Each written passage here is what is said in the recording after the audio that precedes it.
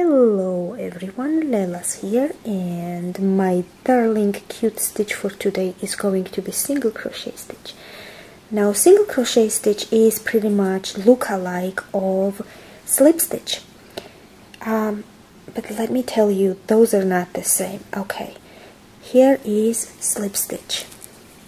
See, I pulled out yarn through the crochet, crochet chain. This is my working yarn. And now I'm going to pull out this yarn through the stitch I had on my hook. Now um, once more this is slip stitch. Okay. Now single crochet stitch is the same process. Oops, sorry. It's the same process. We pull out yarn through the crochet chain or any other you know background fabric that we are crocheting. And then we take our working yarn pull over the crochet and pull out through those both stitches. Okay? Now I'll do this again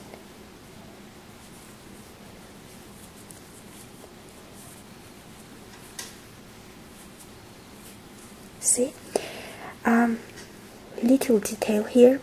When you try to pull out your working yarn through the crochet chain always try to catch those two yarns because it adds the stability to the fabric.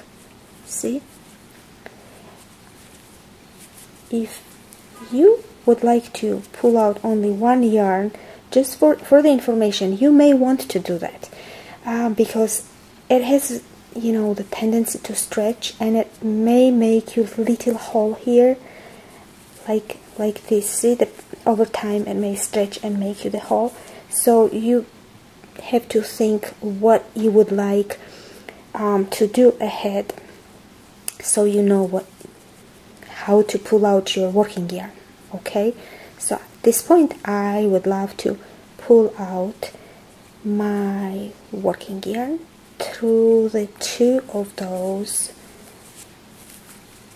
stitches. See this is my beautiful darling little single crochet. This is back and this is front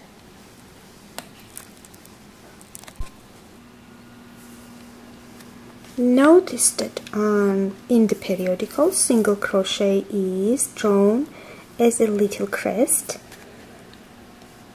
Okay and the equal sign when we turn I, I will explain this. Um, when we turn from one row to another is one chain stitch. So single crochet equals to one chain stitch. Okay everyone experiment with your single crochet um, happy knitting and thanks for listening